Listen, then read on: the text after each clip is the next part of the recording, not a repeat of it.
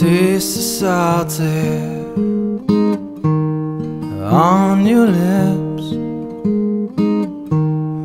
Tell me, girl, is there anything better than this?